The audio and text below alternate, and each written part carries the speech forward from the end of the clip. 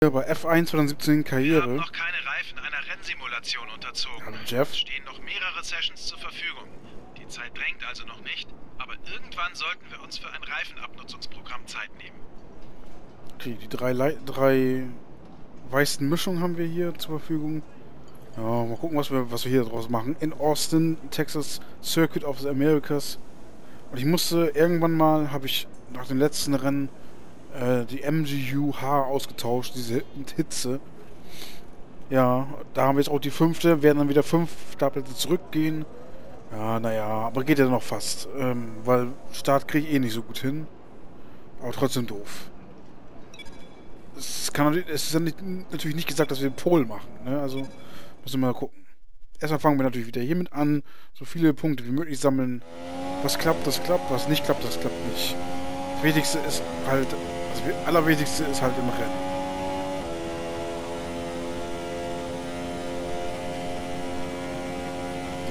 So, aber lange, dass der hier noch fährt. Da kommen wir schon mal ein bisschen an.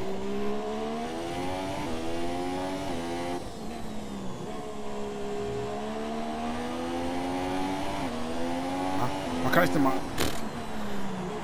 Gleich erst.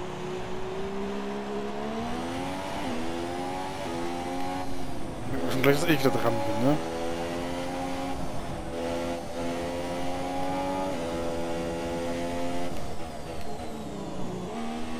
Das war ja die tolle Strecke, die mir liegt. Setup habe ich wieder von, Steam wieder. Steam Workshop. Äh, War irgend so ein Event mit anderen Autos. War die nicht so toll, diese Strecke.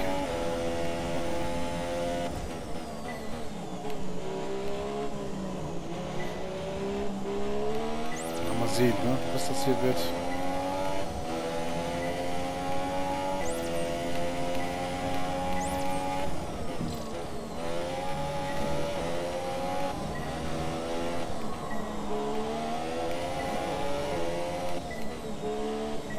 Perfekt wird es schon mal nicht.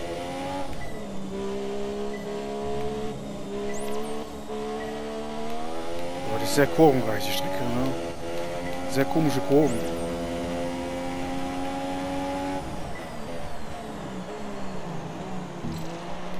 Oh, komm ich zu weit raus. Hier lang schöne Gerade. Der ist.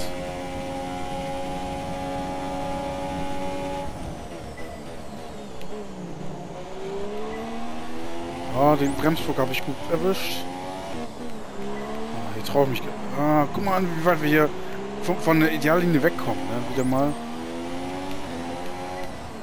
Ah, und hier auch. Na gut, äh, das ist natürlich nicht optimal.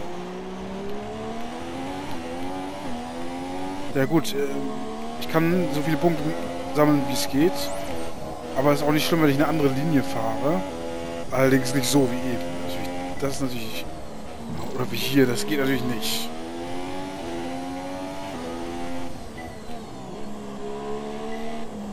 Ah, shit, die sollte ich vom nächsten Rennen... Am besten üben. Haben. Kurve 4, Kurve 11, Kurve 13, Kurve 15, Kurve 19. Ich glaube, ich befürchte... Die, Strecke liegt mir nicht gut.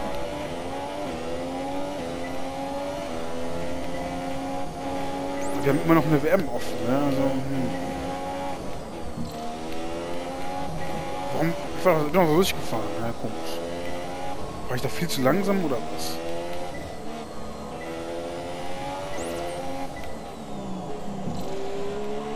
Verstehe das manchmal nicht. Das Auto rutscht halt immer weiter nach. Die Aerodynamik ist halt scheiße.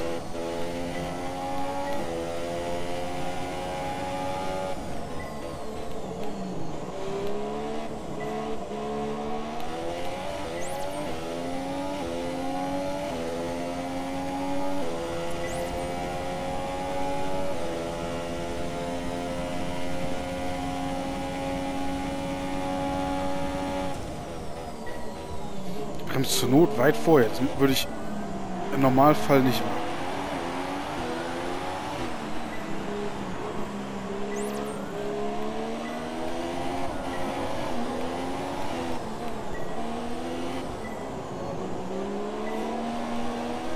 Ich rutsche aber, ne?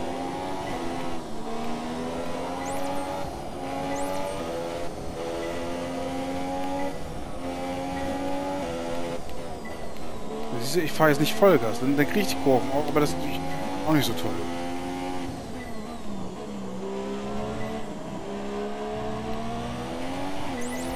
Okay, wesentlich bessere Runde. Runde des Programms. Die letzte Runde des Programms. Saubere Runde, oh, aber naja.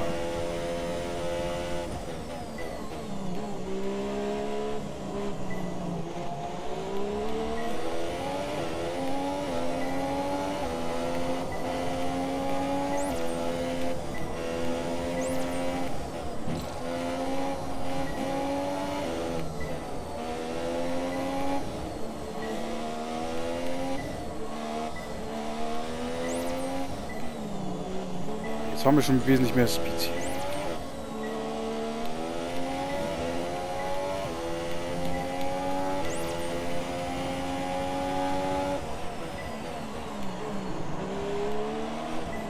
Ein bisschen über die Curbs fahren ist, glaube ich, äh, sinnvoll.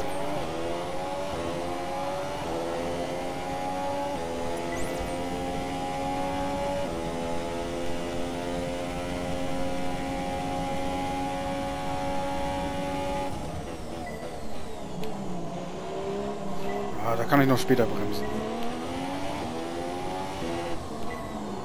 Ich werde eh wieder eine leicht andere Linie fahren, wie man oft hier auch sieht.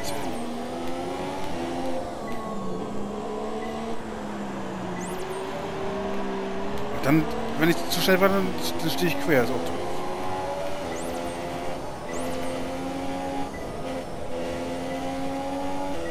Ah, es geht schon besser hier.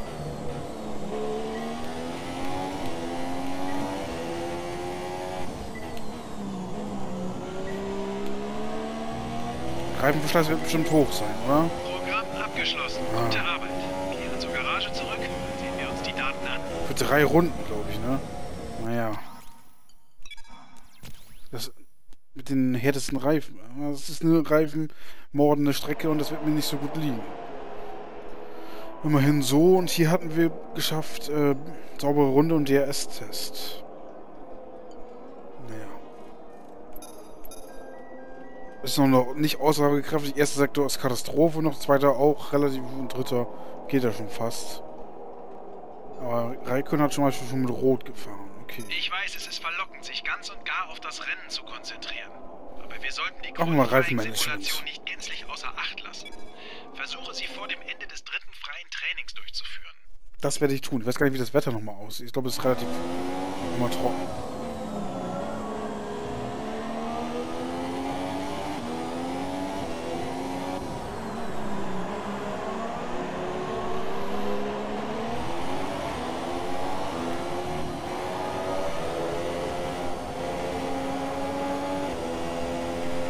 Er doch. Auch mit den roten Reifen auf jeden Fall schon mal wesentlich besser.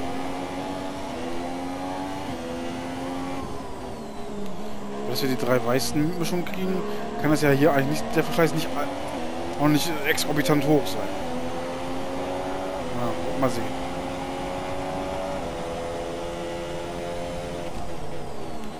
Machen wir mal dieses lustige Programmchen, das ich nie so wirklich mag.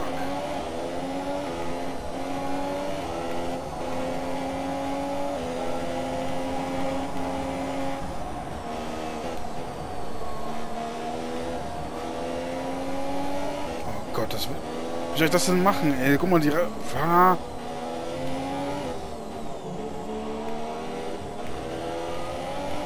Wo soll ich denn hier die Reifen haben schonen? noch Benzin für etwa vier Runden.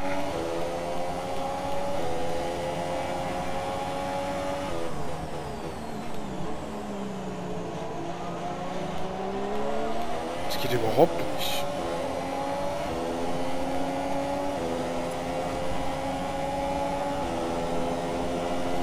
Ich will überhaupt nicht grüner, ey. Ich... Verstehe ich nicht.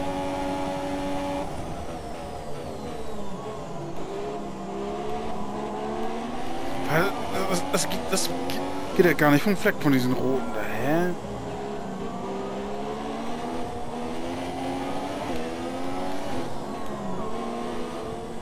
Also beanspruche ich meine Reifen bis aufs Äußerste.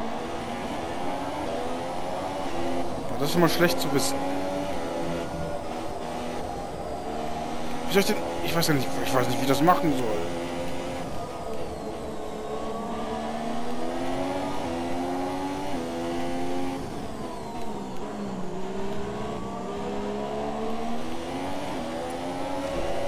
Okay, wir müssen das Tempo ja mal überhaupt Wir erreichen unsere Ziele nicht. Wir werden das Programm erneut durchführen müssen, wenn wir das Delta nicht in den grünen Bereich kriegen.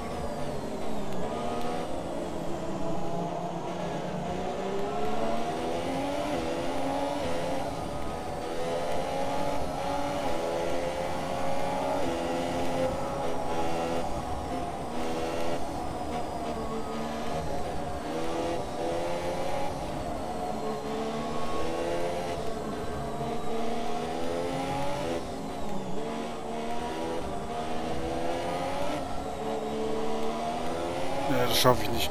Das, das brauche ich gar nicht probieren, da rege ich mich nur auf. Das, das weiß ich nicht, wie das schaffen soll. Keine Ahnung. Aber versuchen wir Benzin sparen. Ah, seufzt. Unsere beste Runde liegt jetzt bei 1 Minute 45. Ja, das ist vielleicht wieder so eine Strecke, da könnte ich eher wieder Benzin sparen. Das pendelt immer von Strecke zu Strecke.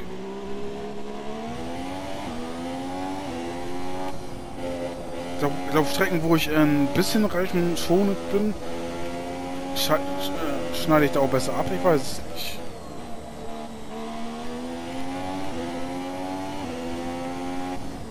Das werde ich, äh, gut, ist der Reifenverschleiß eben höher bei mir. Dann bekommen wir eben nicht so viele Ressourcenpunkte. Aber ich muss natürlich Recht mit irgendwann wissen in ungefähr 10 bis 15 Minuten. und sehen, wir werden auch sehen, äh, ob, ob ich konkurrenzfähig bin. Etwas Regen hier auch noch.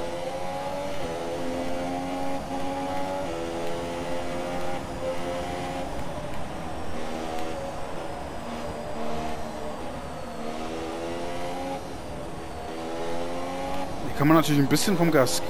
Ja? Deswegen, ja, das wird wohl eher eine Strecke für sowas geeignet sein.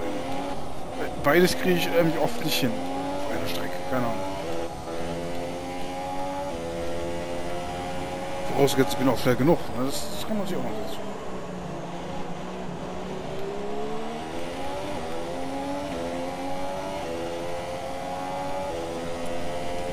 Das ist ja auch immer das Blöde.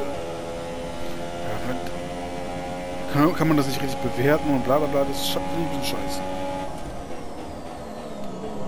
Sie muss noch schnell genug sein. Ja, gut. Wenn man unendlich langsam sein kann, dann kann man ja auch alles perfekt schonen.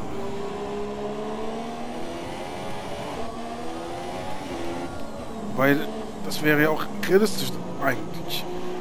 Man muss sich das ja sozusagen im Rennen selber einteilen. Wenn man natürlich zu langsam fährt, dann kann man zwar alles noch mehr schonen, aber es ist halt zu langsam. Dann muss man das ein bisschen kalkulieren.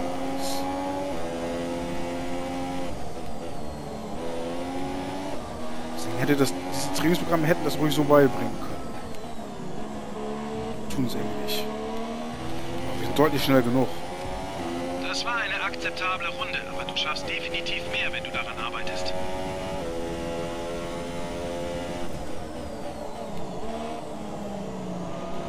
Wir haben noch nicht die schnellsten Reifen alles ausprobiert.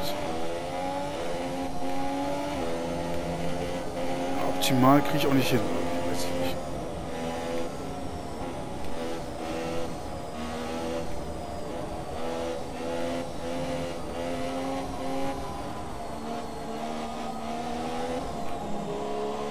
Er hat ja noch Luft nach oben.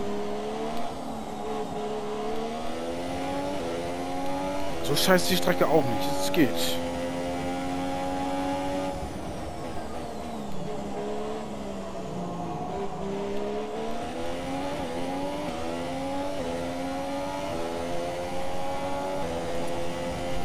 Könnte doch wieder was gehen, aber ja, Mann, aber ich befürchte, kommen nur mit Siegen an die Weltmeisterschaft. Das ist halt immer das Schwierige. Dass ich da vorne konkurrenzfähig bin, das bin ich. Aber ich kann jetzt nicht alles, ich fahre nicht alles in Grund und Boden.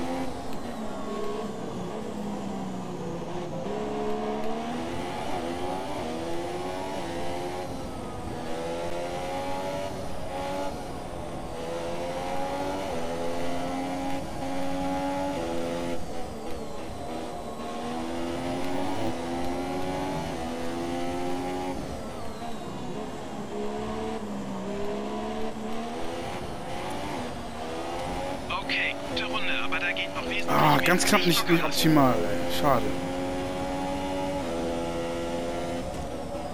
Jetzt habe ich auch so abgebremst für diese Runde hier schon.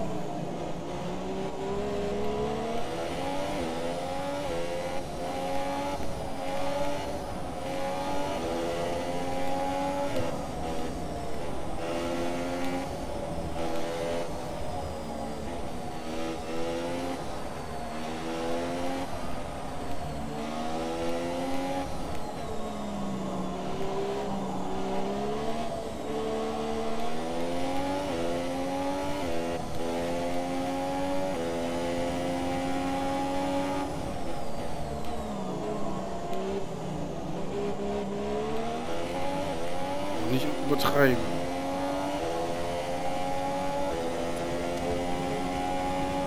Etwa zwei Runden kommen wir mit dem Benzin noch aus.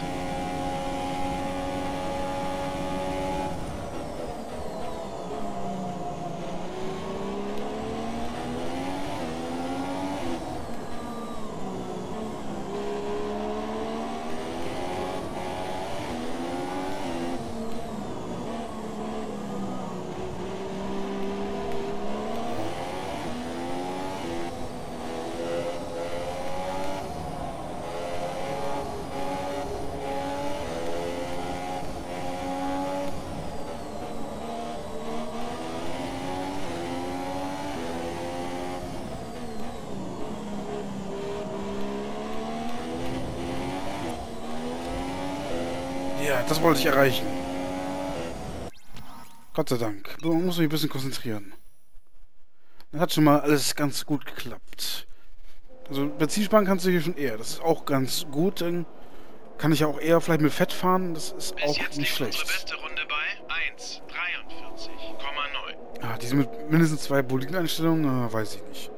Auf schneller Sektor 3 hätte ich auch ganz gerne. So, dann gucken wir mal in der nächsten Folge, wie es weitergeht mit unserem Speed. Das sieht ja schon mal jetzt nicht schlecht aus, wenn der hier schon gut ist. Dann bin ich mal gespannt, was es noch wird. Das spule ich nochmal vor hier. 28,2, da fehlen natürlich noch 8 Zehntel auf Hamilton. 21,2. Oh, da auch wieder 8 Zehntel. Und da wahrscheinlich auch. Ja, oder eine Sekunde. Ja, oder ja. Aber das kann ich noch aufwenden. Das sieht sonst schlimmer aus.